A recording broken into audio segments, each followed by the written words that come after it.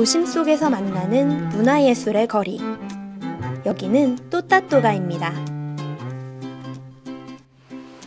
높은 건물 사이에도 우산 아래 카페 옆에도 심지어는 식당 옆에도 여기저기 보이는 또따또가라는 간판들 대체 무엇이길래 이렇게 거리 구석구석을 채우고 있는 걸까요?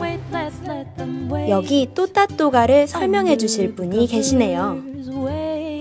이 지역은 문화예술을 중심으로 좀 형성되는 것이 좋겠다라는 생각에 동의를 하시고 그렇다면 원도심 창작 공간 속 예술가들은 또따또가를 어떤 시선으로 보고 있을까요? 인문학 북카페 백년어 서원의 박송화 씨를 만나보았습니다.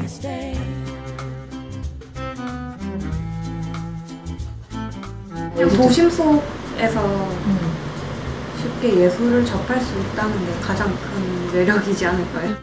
또따또가 속 사람들의 작은 바람은 사진을 찍기 위해가 아니라 예술가들의 정성이 담긴 작품을 사기 위해 차를 타고 슝 지나가는 것이 아니라 한 발 한 발 또따또가 거리를 걷기 위해 그리고 한 잔의 차를 마시고 가기 위함이 아니라 진정한 소통과 참여를 위해 그들이 사는 또따또가 거리를 방문해주는 것이라네요.